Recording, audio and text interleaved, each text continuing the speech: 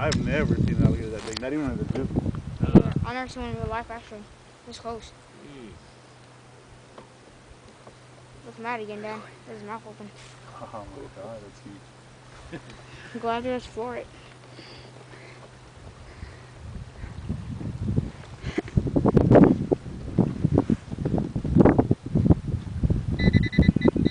Oh crap. Look over here.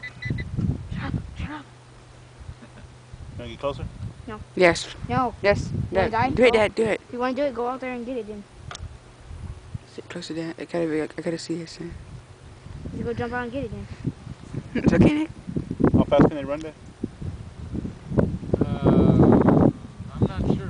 Fast. Go do a Steve Irwin and jump on his back.